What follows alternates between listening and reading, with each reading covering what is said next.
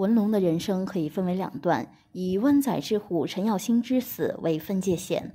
早年在夜总会看场的文龙，跟过两个大哥，一直不温不火，直到投身湾仔之虎陈耀兴麾下。彼时的陈耀兴风光威水，以老兴第一猛人名震江湖。文龙跟着顺风顺水，自然没有人敢找麻烦。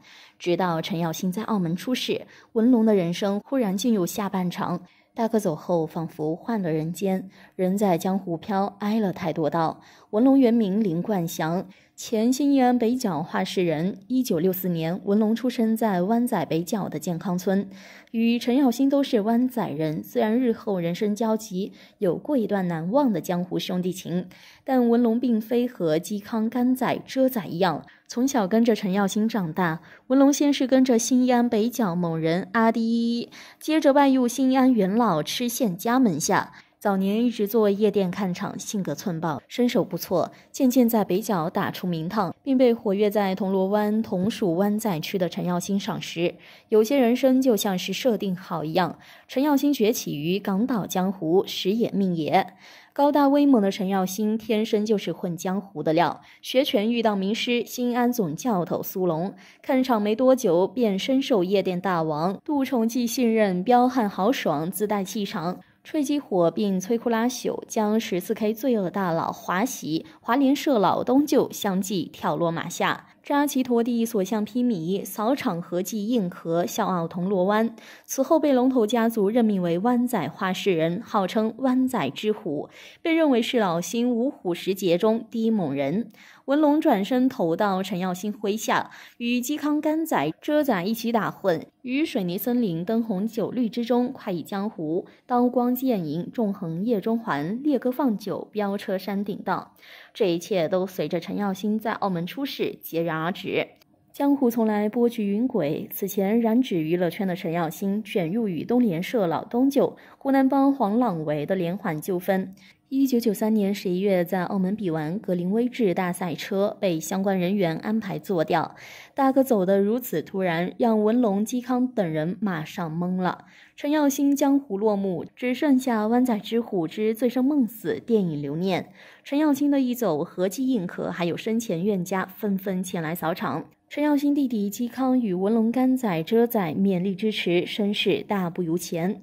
一直记着给耀星报仇的嵇康，在九七年带人手刃说漏嘴的老东舅，随后逃到马来西亚，将港岛的场子交给文龙、甘仔、遮仔。甘仔、遮仔成为老兴铜锣湾画室人，文龙则成为北角画室人。文龙与甘仔、遮仔关系一直不错，江湖人称“湾仔三兄弟”。表面波澜不惊，刀锋却在暗暗靠近。二零零二年初的某天，文龙与一众兄弟在一家的市高狂欢至凌晨，晚后离开，送二十一岁女友回家。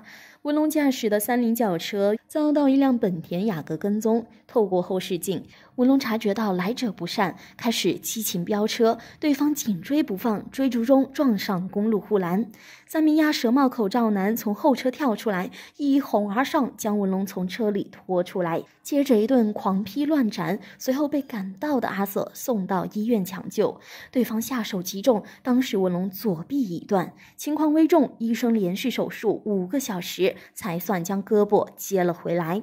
据称，此前文龙曾与人在 V Mix KTV 发生激烈争执，事件脉络逐渐浮出水面。原来皆因文龙与牛荣的小巴纠纷，双方多次讲述不成，矛盾激化。近年裁员吃紧的文龙，将目光瞄向连接九龙港岛的过海小巴。此前过海小巴生意一直由何义堂坐管，牛荣和服役新猛人拿扎控制。文龙突然过来分羹，自然引发对方不满。牛荣是坚尼地城牛房出来的屠夫猛人，与硬核作馆高老山、盛和作馆沙田米都是皇指兄弟。虽然何义堂规模不大，牛荣势力背景却不可小觑。况且牛荣跟文龙前大哥陈耀兴是老相识，陈耀兴发迹时曾与牛勇有过一场火爆对决，此番旧仇新恨叠加，可谓分外眼红手辣。最后，牛勇被阿泽带走调查。此次交锋，吴龙吃亏不小，本以为事情就过去了，但还没完。一年后，文龙手下运营过海小巴的司机头目货车辉，凌晨吃完宵夜，在肖街湾附近的教堂街遇上两名口罩男一命呜呼。货车辉原是一名货车司机，曾在福义新拿扎手下，后来投靠文龙。做起过海小巴司机，跟牛油哪吒抢起了生意，自认为有文龙和新安支持，对方不敢拿自己怎样。货车辉的遭遇更像是牛油对文龙的再次严厉警告。随后，文龙退出过海小巴生意，跟着陈耀新的微水岁月早已云烟远逝。文龙虽然表面上还是北角话事人，实力早已缩水，甚至在自己地盘都捉襟见肘。二零一五年中夏，文龙和嵇康一起。在中华兰桂坊 Levels 夜店招待了四名宝岛来的竹联帮大佬，却在自家门口翻车，因为争夺陪酒女与人发生争执。随后，文龙等人被几名彪形大汉赶出场外。中华蓝挂坊可是他们的老牌地盘，嵇康文龙在这里摸爬滚打二十多年，此番又在竹联帮面前难堪，可谓大伤颜面。据称有人在舞池内被啤酒瓶爆头，随后文龙、嵇康带上六十名手下赶来，没想到对方早有准备，一帮黑压压的印巴壮汉早已在此等候，文龙铩羽而归。凌晨两点，文龙再带大批人马到兰桂坊楼下吹鸡叫阵，随后阿 Sir 赶。到这口气终究没能出完。此后，文龙更加低调，据称偶尔会接一些大厦翻修生意。二零一九年十月，文龙在铜锣湾帆船酒店与人喝酒时，突然被食物卡住喉咙窒息，再没缓过气来。次月，文龙有人甘仔遮仔主持举办了病礼，当天千名黑衣人到场，尖东猛人大酒高老超、硬壳前座管喜玄。盛和前坐馆肥坚、少行先后前来致意，裴文龙重温了最后的风光。